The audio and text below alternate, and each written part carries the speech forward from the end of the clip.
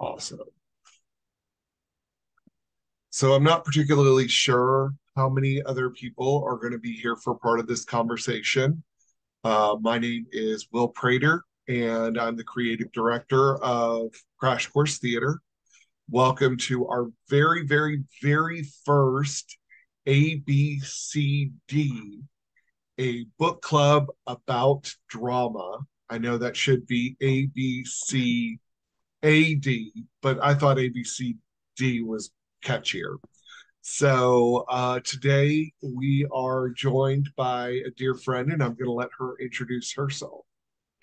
Well, I'm Gwen, Gwen Diller, and uh, I love theater, but I'm a bit of a theater noob, so I consider myself a student.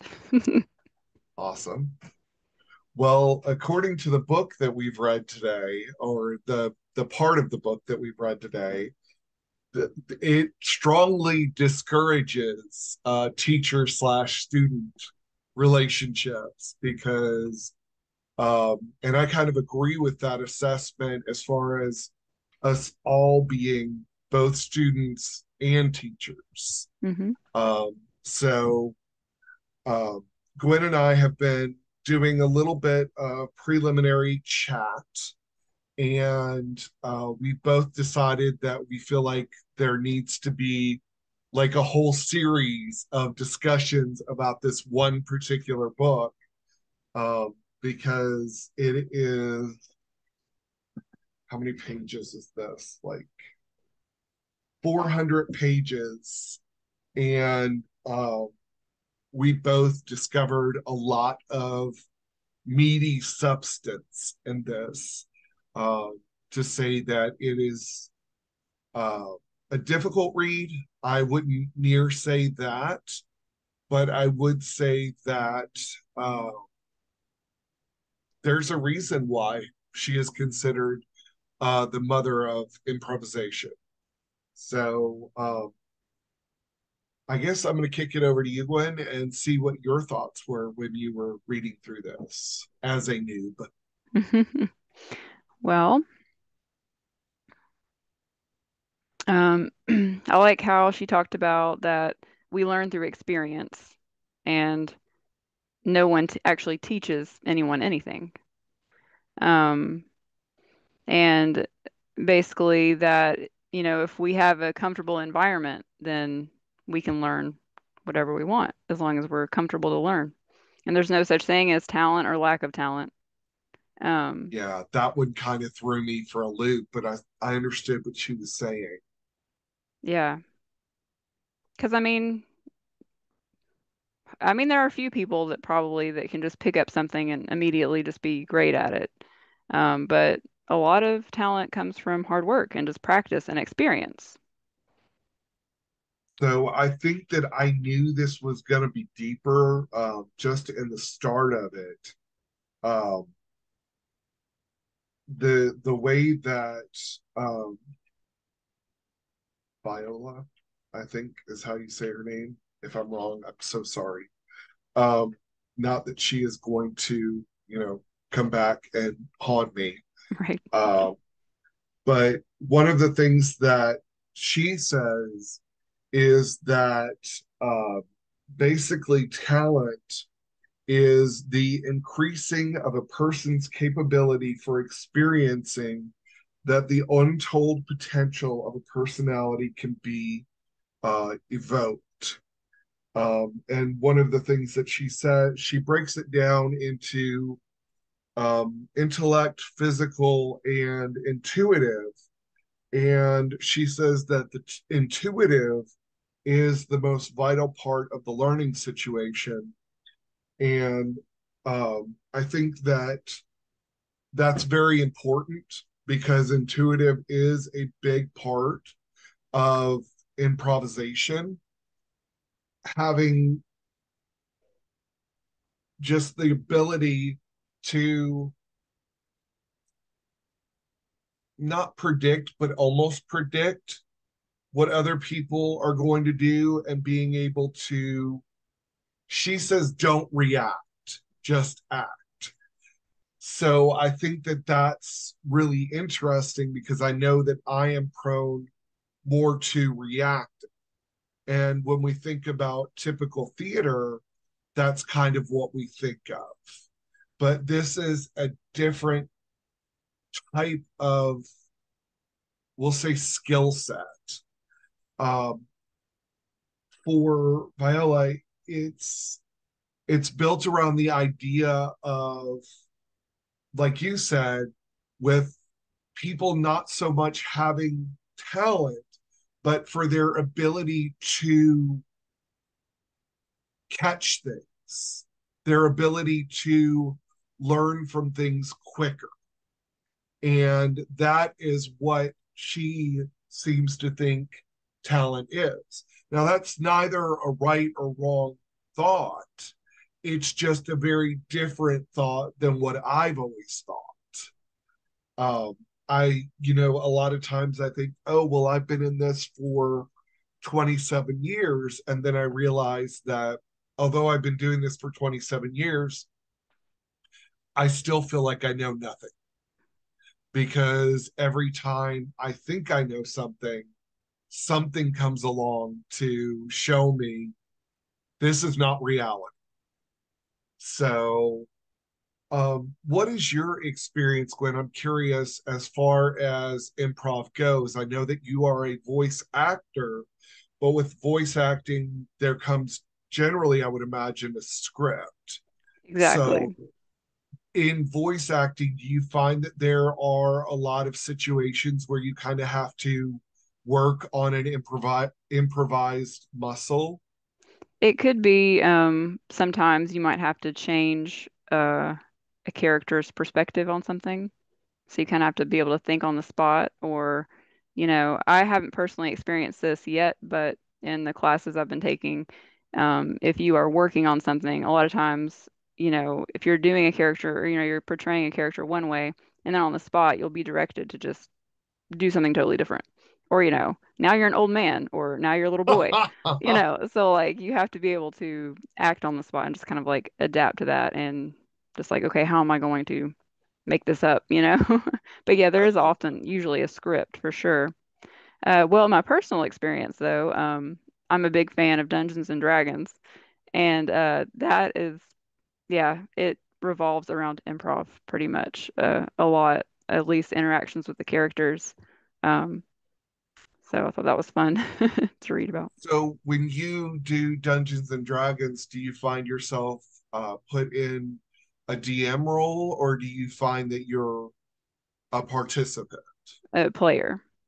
Okay. So yeah, and the you know the the dungeon master has a lot of things planned, but even what they have planned sometimes if the players take a totally different direction, you know, anyone who's ever played before, you know, they'll know that you just it's he also he or she also has to, you know, act on the spot and say, okay, well, how am I going to change the situation? Um, you know, all the character interactions are we don't have a script, you know, it's just like what am I going to say to this person? What, how is my character going to act to this this, See, this I enemy? Always, I always think of uh, Sheldon from Big Bang Theory, not because of my shirt, although Big Bang Theory. Uh, Sheldon was always an interesting character when he played D and D because he would change his voices, and Jim Parson was just an incredible actor overall, or is an incredible actor overall. But he he got very very into D&D and I know that a lot of the people that I've had the the delight of being around, they get very, very involved in the storytelling of D and D, and I know that that's built all around uh, improvisation. So, I I'm curious. You know, I wish that there were more people on here. I'm sure that we'll hopefully have other people joining us. I'm I'm curious what it's at, like to actually step on stage and do some of these things. Because another thing that um, Viola talks about is the separation of the stage and the audience, and how improv is supposed to be a bridge. It's supposed to acknowledge the audience. The audience is a participant in the improv. And I always think of whose line is it anyway. That's what I thought of too.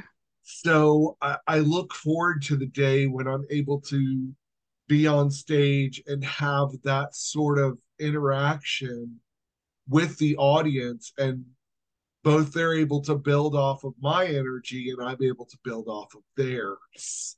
So I just think that that's really interesting because as an actor you you learn about the fourth wall and you always try to keep within your space when you break that fourth wall a lot of people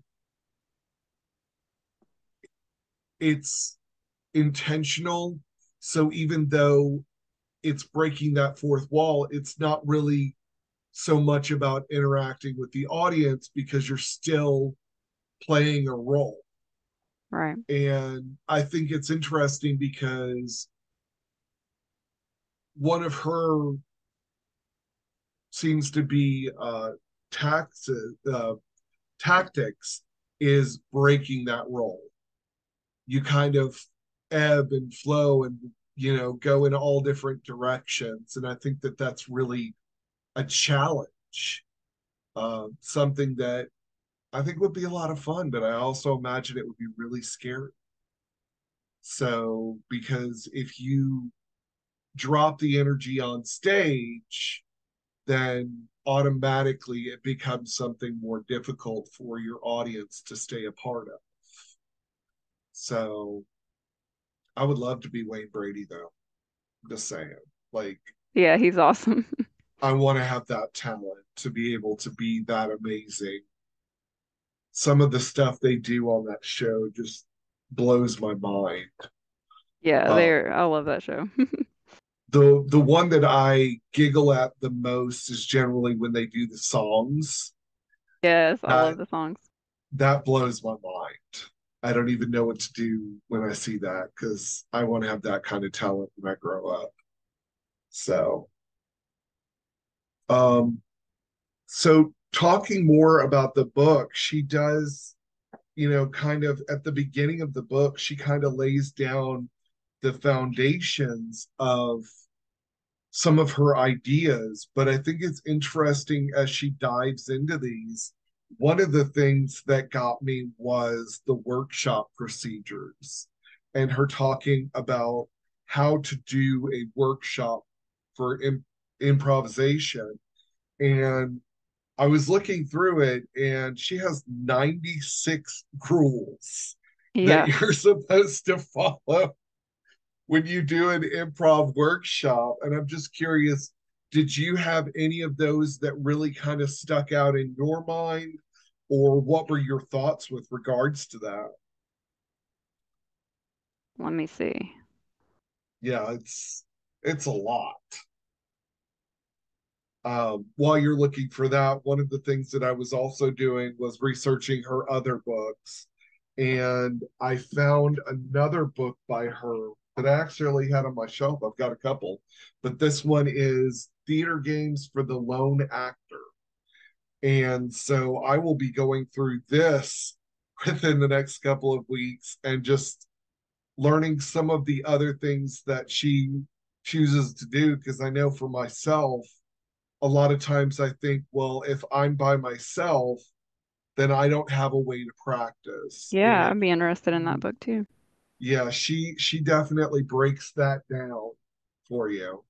So yeah, I'm as I'm looking through the book here, she talks a lot about just how, you know, your world around you and just being um, really attentive to the world around you and interacting. How how do you interact with the things around you? You know, how does it feel when you eat? Al- it almost reminded me of like mindfulness exercises almost.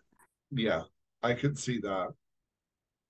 I think that it's interesting. She wants she suggests the the who, what, where, but she says the how should never be answered and I I hadn't really thought of it from that perspective again. Uh, I mean, this book just, like I said, it just blew my mind because it's so different from every concept I've learned in the acting world and in life in general. So, um, was there one point that you just kind of your this thing went off in your head where you're like, okay, that's that's my big takeaway, or was it more like just a an all around kind of thing? Um, so I'm realizing I re wish I had a physical copy instead of on the Kindle because it's a lot harder to navigate. Well, I have a physical, and I can um, definitely let you borrow it if you choose to. I also know they're on Amazon. Let me find out about that one because I was looking up a couple of other books. I did think the idea, the point of concentration was interesting. It's like to yes. preoccupy, you know, your mind and. And I think it's interesting that she says that's pretty much what you need to focus on for every exercise. It comes back to that same theory.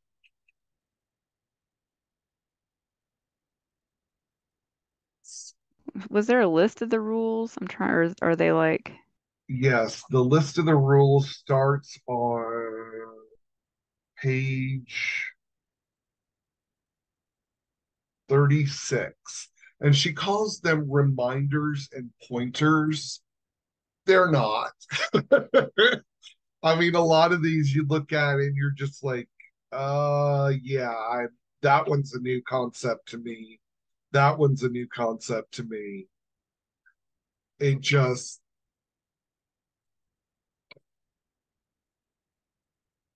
All right, since this is the Kindle, what section is it in? The workshop procedures? Uh, yes it pretty much takes over the workshop procedures. She goes through um, the the side coaching was interesting. I tried that out because there's a practice in the Lone Actors book about how to side coach yourself. Oh, that would actually be really helpful for voice acting. yes. Um, in the workshop procedures, she talks about problem solving, and she talks once again about that point of concentration, which she also calls the point of focus. And she kind of breaks down her ideas on those concepts. She goes through evaluation, and it's interesting because she thinks that the idea of evaluation sometimes is what stops us from improvising because we're so scared of that judgment that we stop ourselves from being creative. Yeah. And I think that that's a really, really interesting point. Um, just how much I've allowed the evaluation to hang up everything uh, she talks about side coaching, which is basically talking to yourself from the sidelines or talking to somebody else from the sidelines. Mostly it's just the referee, for lack of better words. That's kind of what it is. It's the person that works on helping everybody else stay within the the group within that that concentration of focus and then she goes into how um, presenting a problem or creating a problem to solve a problem which is again an interesting thing to do for yourself. Uh, she talks about the physical setup of the workshops and kind of how it's better to have it in a round formation rather than putting people in corners, sort of. And timing, of course. You have to give yourself sort of how much time do I have for this particular practice? on page 36, she says it's a list of reminders and pointers for both students or group leader and stu- uh, teachers and group leader or uh, and or the student and the list is a bit exhaustive Is it the numbered the numbered list? yes Yeah. 96 things Yeah, I found that finally. Um, yeah, I think like the not planning. I mean, I know that's the whole point of like improv, but you know, to not even be able to really think about what you're doing is really difficult, I think. yes i absolutely agree And also and how she says, you know, don't say that someone was good or bad, but like, you know, did they solve the problem? You know, and how did they show that? because we again come back to that evaluation that you know we have we're giving other people our judgment rather than just allowing them to be. If your only your only goal is to solve the problem which is your point of focus then there is no good or bad. It's just a yes or no. So i think that that's definitely an interesting way to take it on um, some of the other things that she goes through is don't rush. And i think that that's funny because when i think of improv i always think of something very very fast. Well, especially with whose line, you know, you think about go, go, go. yes. And i think that that's particularly interesting when you think about how long you've been practicing improv when you're first practicing to release and let go of that preconception then you have that freedom. Within that freedom sometimes we don't know how to react. Where we live we feel like oh well this is too liberal. This is too free. There's got to be a catch. And then in improv you figure out there's not a catch that the freedom that you're getting from it is exactly what's supposed to be there so I think that she also makes an excellent point of whoever is kind of leading the exercises to keep an eye on the energy of both the participants and the audience. And once the energy sort of changes, it's time to do a different exercise. So I think that that's, and that's one thing that I always find interesting about Whose Line. I know we keep going back to that is that each of the activities they only last for generally two to three minutes and then it gets switched up Yeah. because i think that you can only watch so many scenes from a hat before you're like okay i'm i'm ready to move on to something else now Right. so And I always want, I wondered if maybe that's why they buzz them early sometimes. Like if they're, mhm. maybe they're listening to the audience to see how they're reacting. yeah i totally agree i i definitely think that my biggest concern with regards to doing improv is that I have a very adult brain. And so a lot of the things that I would think of for improv, I would have to censor myself on, uh, which is why I want to learn how to do it both as a friend, uh, family friendly kind of thing, but then I also want to give myself the freedom to be able to do a more adult style of improv. I think that I, I'm curious what your thoughts are, especially working towards creating uh, an improv group. How do you feel it differs doing it in a smaller town like Tullahoma versus building it up in, say, Nashville or one of the bigger cities in in Tennessee? What are your thoughts? I don't know. I I think Tullahoma is at least I was surprised by the uh by the th- involvement of the or you know how big the theater is in the community and how many people were involved in theater in the community. Um, I mean there might be an interest. Uh, I don't know if you mean like family family friendly versus not. Uh, I think as long as you have clear um expectations and clear uh you know like this is what it is kind of thing, then you would be able to um, get the right people, I guess, that would be willing to. Younger people, probably, yeah. you know, college students.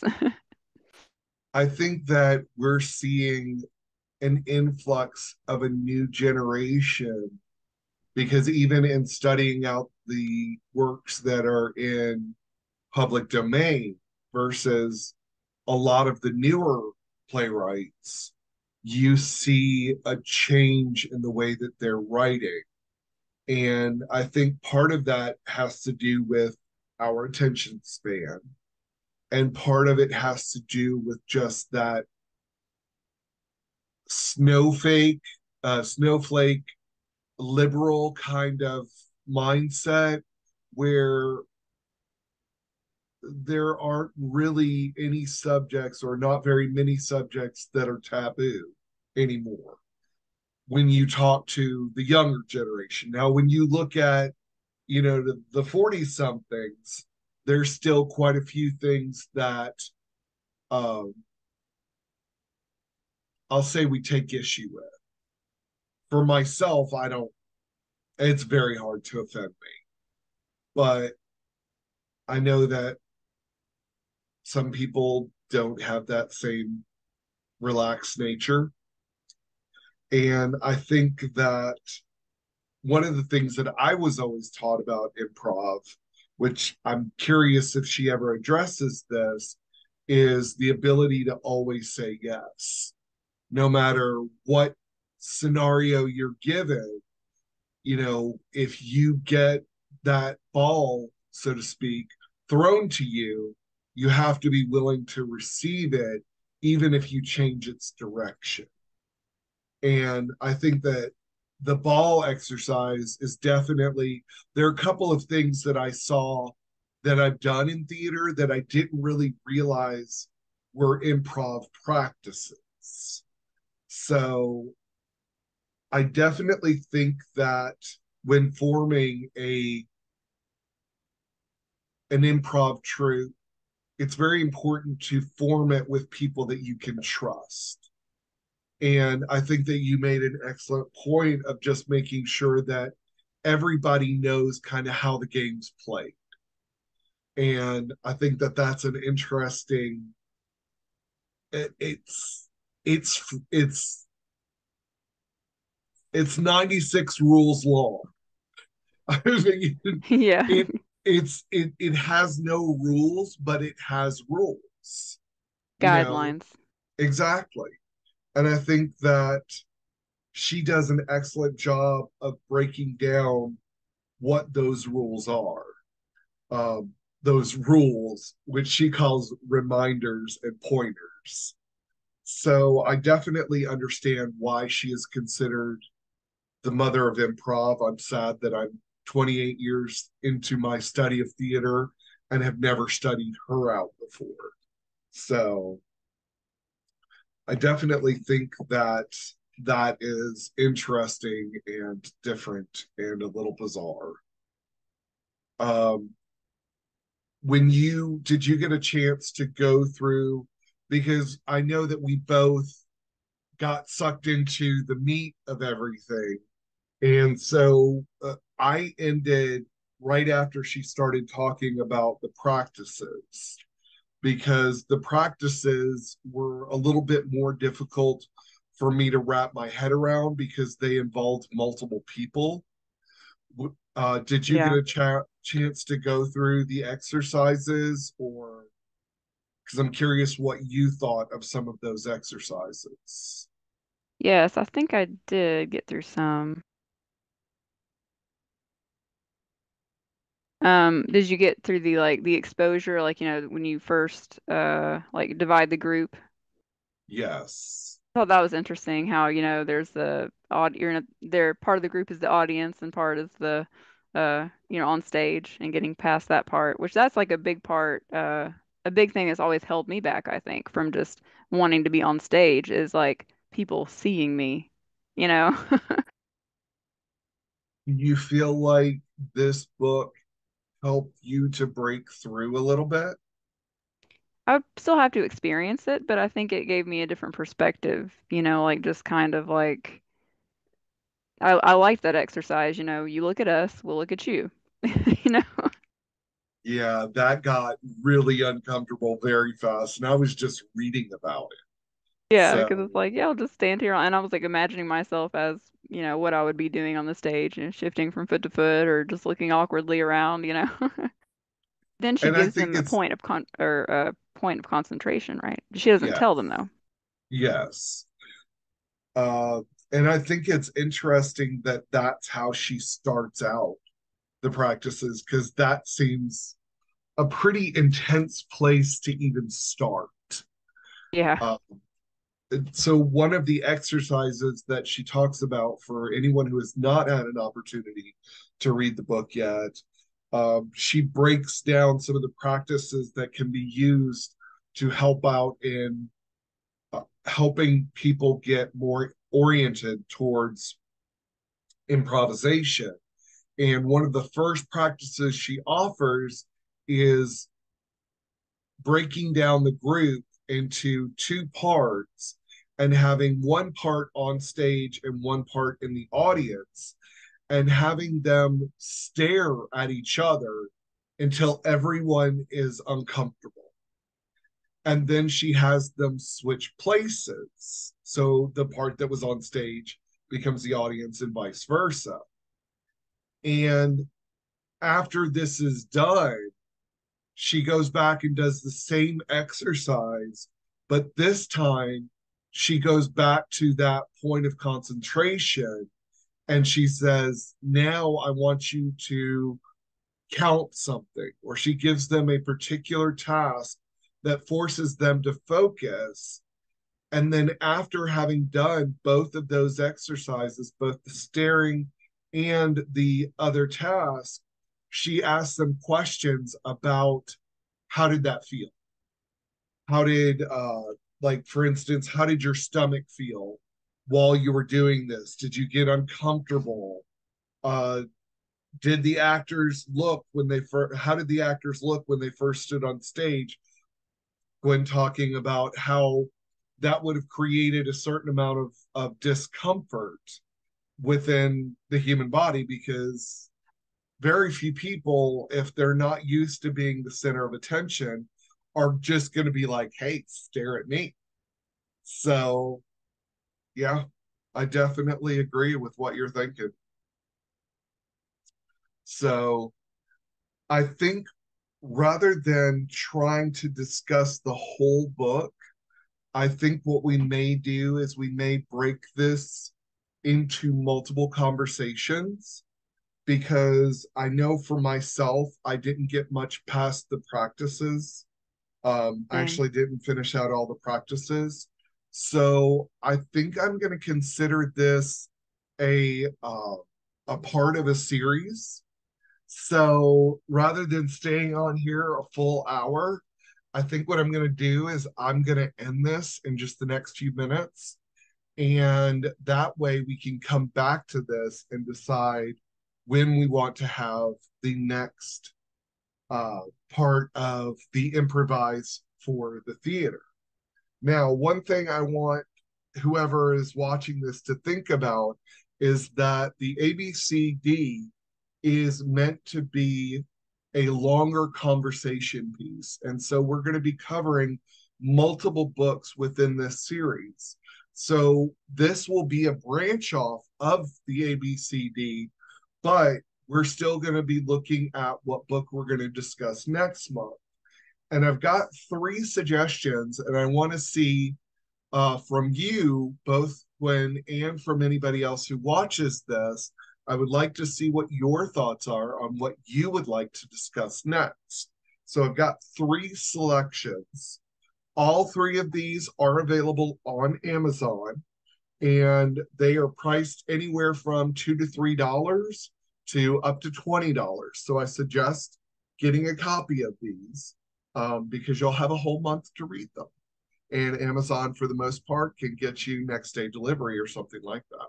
So the first one I've got is called Small Stage Sets on Tour.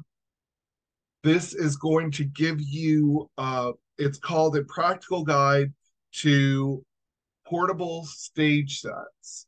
So it's definitely something that if you're into stage building, this will help you out with that.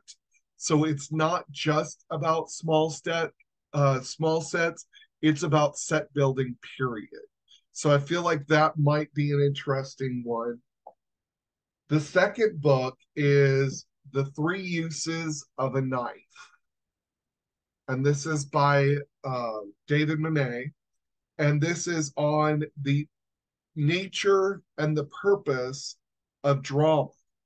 So it's more of a behind the scenes kind of look at what makes good drama. And it comes at it from a playwright's perspective, which is something a little different than most of us get to see it from. And then the third book really intrigues me. This is acting from a spiritual perspective.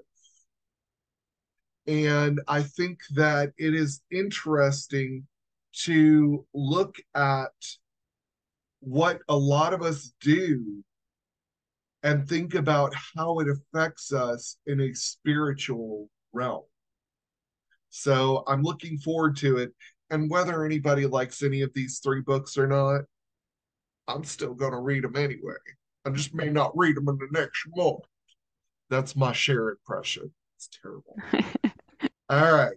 So, Gwen, as far as you, of those three books, what do you think since you're on here? I'm going to ask and put you on the spot. Hmm. Well, I mean, the third one seemed interesting. I would probably want to read like the little descriptions about them. Um, Okay. I'd say the second or third seemed the most Okay. interesting. So, what I'm going to do is I'm going to put a picture of these three books, and I'll also put a link to each one of them where you can find them on Amazon. And I would love for anybody who watches this to take a few minutes, listen to this conversation, read through uh, this book. It is improvisa- improvisation for the theater by uh, Viola Spolin. I don't know how to say her last name. I'm so sorry if I say that wrong. She is considered the mother of improvisation. She also has a number of other books, and one of them that I'm going to be reading is Theater Games for the Lone Actor.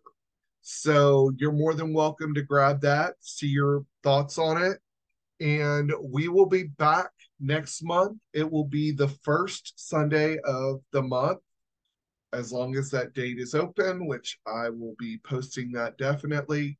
And we hope that you will be able to join us. And I hope that you'll be able to be part of the next book discussion. Thank you so much, Gwen. It was great to see you. All right. Bye bye.